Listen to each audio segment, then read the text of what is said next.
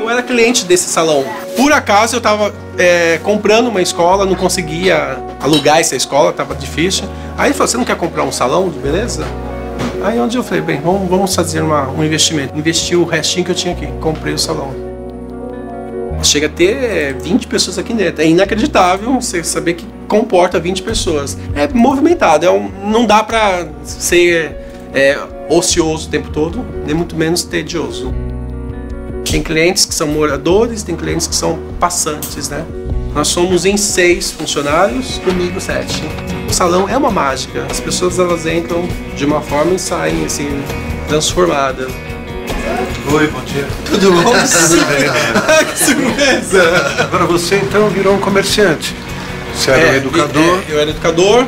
Ainda sou educador, mas Sim, é. virei comerciante e eu estou gostando. Era a última coisa que eu queria ser, ou queria fazer. Trabalhar em salão ou ser cabeleireiro. Tá orgulhoso Tô, do teu tô. trabalho? Tô satisfeito. Então posso fazer um convite? Vamos até um SESC. Vamos lá.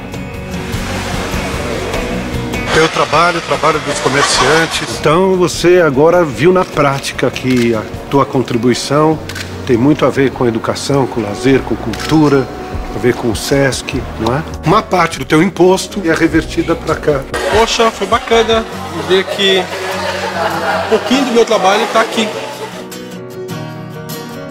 Fê Comércio SP, SESC e Senac. Aqui tem a presença do comércio.